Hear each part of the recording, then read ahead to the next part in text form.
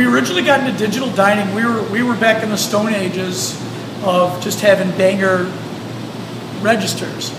And we looked around and we looked at pretty much every product out there. And for, for the money and the amount of information that would be able to be provided at our hands, digital dining was absolutely the best product for the money.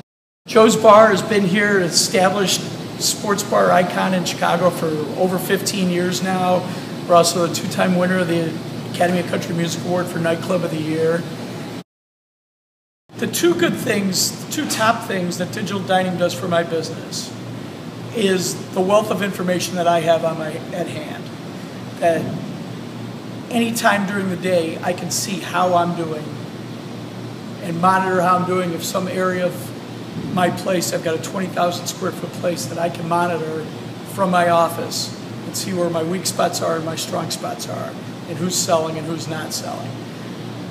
The other part is at the end of the week or the end of the day, being able to see, break down every ounce of information, everything that I've sold, and being able to do a thorough analysis of what's working for me and what isn't working. The other big part is the speed. It's, it's a fast product.